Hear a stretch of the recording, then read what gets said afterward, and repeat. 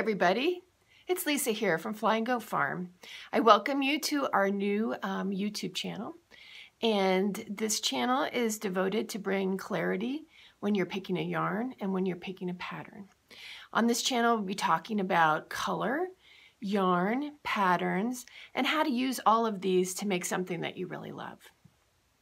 After watching these videos, I hope that you have um, confidence in your picking of color and um, I'll also be sharing some realities of being a fiber farmer here in Maryland.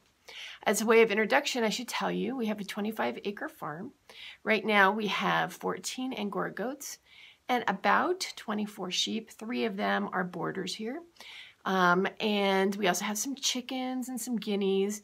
We have uh, three guardian dogs and one companion dog and a couple of cats. So it's pretty busy around here.